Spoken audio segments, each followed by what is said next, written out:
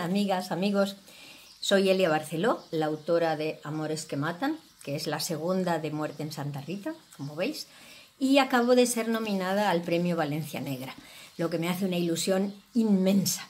Solo quería deciros que os esperamos en el maravilloso Festival de Valencia Negra y que me gustaría muchísimo veros allí en persona y poder charlar y firmaros un ejemplar.